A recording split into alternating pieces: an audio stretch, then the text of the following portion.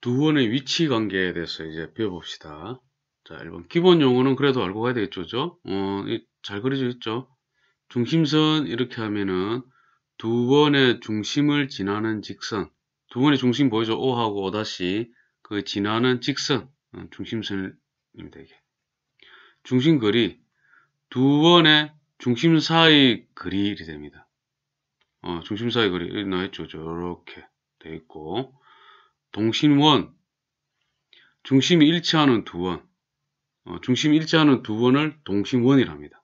아, 이거는 이제 뭐 어, 동심원 되려고 그러면은 일단 뭐 이러한 것이 필요하겠다, 그죠? 이런 식으로. 뭐 물리에서는 파동 같은 거 할 때 그죠? 두 원이 이게 그죠? 뭐 이런 걸 동심원 이렇게 하는데 뭐 일단은 이런 거로 체크를 하고 가십시오. 뭐 진짜 중요한 거는 밑에 이거죠. 평면 위에 크기가 다른 두 원의 반지름의 길이를 각각 R, R-라 하고 어, 이거는 가정을 R이라는 어, 그 O 이게 더 크다고 전제하에 이제 이렇게 한 거죠. 이렇게 요런 느낌이죠. 요런 느낌. 그래야 여기 이게 R이고 이게 R-다. 이렇게 하고 할 때 두 원 O, O' 위치 관계는 어, 그 중심 사이의 거리 D에 의해서 알 수 있습니다. 그랬죠. 자, 그럼 이 경우는 여기겠죠. 이게 D라는 소리겠죠. 첫 번째 그, 그림은 흔히 통상적으로 이제 우리가 두 번의 위치 관계를 따질 때는 보통 이렇게 많이 하죠. 이 원 하나하고 이 거리를 좀 띄웠어요. 이런 식으로. 자, 이렇게 한 다음에 아까 큰 원을 갖다가 오로 하기로 하고죠. 작은 원을 오다시라고. 어, 이렇게 이렇게 있는 거예요. 그럼 여기가 D가 되겠죠. 그죠? 이 거리가 D가 됩니다. 그리고 반지름은 여기를 R이라 하고 여기를 R 다시 자, 딱 보더라도 R 더하기 R 다시 한 거 하고 그 다음에 D하고 거리 비교를 했을 때 자, 두 번이 그러니까 만나지 않고 떨어져 있을 경우에 이런 게 되죠. D가 더 크죠. 가장 이렇게 할 수 있죠. 그죠? 그 다음에 이렇게 만났을 때는 적접한다는 개념으로 갔을 때는 자, 이렇게 됐어요. 이렇게 되고, 이렇게 되고, 오고, 오다시고. 잘 됐죠? 자, 이렇게 하고 보니까 여기가 R이고, 여기가 R-잖아요. 이번에는 이게 D가 됩니다. 자, 이거는 어떻게 됩니까? R 플러스 R-를 하였더니 D하고 거리가 같죠? 어, 같으면 이렇게 두 원이 바깥에서 이렇게 접하게 되는 경우 그림이. 이렇게 설명하는 거예요. 그리고 가장 많이 나타나는 어, 모양이 어, 이런 그림이겠죠. 어, 이런 뒤에 부분에 가서도 강자 중요하죠. 왜? 만났을 때, 만나는데 어떻게 만나냐면은, 이렇게, 이렇게 만나는 거예요, 이렇게. 아, 가장 많이 나오는 형태죠. 이 경우에 중심이 오고, 오 다시 이렇게 하면은, 자르실 거죠. 가장 많이 나오는 형태. 어, 그리고 이게, 이제, 이리 되고, 이리 되겠죠? 그랬을 때 이게, R이고, 이가 R-가 됩니다. 자, 여기가 D가 됩니다.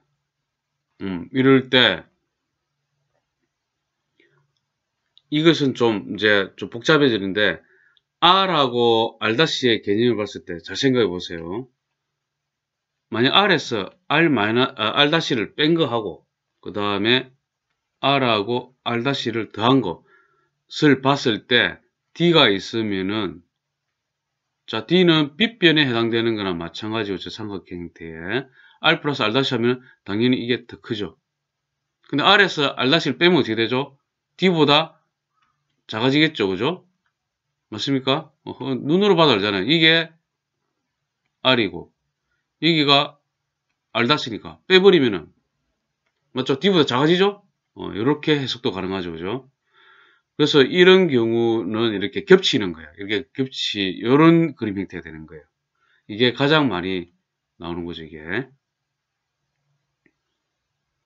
자, 그림을 잘 생각해야 됩니다. 어, 고등부 수학은 그림이 줄을 이루기 때문에. 자, 이렇게 되어 있고, 그 다음 이제 아까 접하는데 안쪽으로 이렇게 접하는 거야. 이렇게 접할 때. 그럼 만약에 여기가 뭐, 여기가 오라 하고, 여기가 오다시를 했을 때, 보세요. 지금 이렇게 될 거잖아. 오는 이까지가 R이 될 거고, 그죠? 그 다음에 5-는 여기가 이까지만 이렇게 될 거잖아. 그죠? 근데 두 원의 중심의 거리 D는 이렇게 될 거잖아. 됐습니까? 그러면은 딱 보니까 뭐, 뭐가 떠오릅니까? R에서 생각하는 게 R-를 빼버리면은 D하고 이거는 같네. 자, 이렇게 됩니다. 그다음에 이제 떨어져 있는 형태가 있죠. 안쪽으로 들어왔긴 들어왔는데 이런 식으로 되고 이런 식으로 살짝 떨어졌어 이제. 떨어지면 여기가 오고 여기가 이제 오다시가 되죠. 됐을 때 자, R은 이만큼이라. 그리고 근데 R 다시는 또 요만큼밖에 안 돼. 됐죠? 자, 그러면은 D가 어디 됩니까? D가 요거라. 자, R에서, R에서 R 다시를 빼보세요. 빼고 나면은, 이만큼도 차이가 나고, 그죠? 이만큼도 또 더 있지. 결국은 뭡니까? D 딱 했을 때, 요거보다 작지. 그죠? 이렇게 됩니다. 자, 그 다음에 어떻게 있죠? 아까 동심원 이러면서 원의 중심이 일치하는 경우가 발생하겠죠. 이게 딱 이렇게. 어, 여기 O하고 O 다시 같은 점이 있는 거예요. 자, 이럴 경우에는 두 O와 O 다시 거리가 D니까 D가 있어요, 없어요? D가 없지. 그죠? D가 없습니다. D는 이렇게 0이 됩니다. 이렇게 여섯 가지 경우의 그림이 있습니다. 이걸 잘 생각하시고 어, 고3 때까지 이어가야 되겠죠.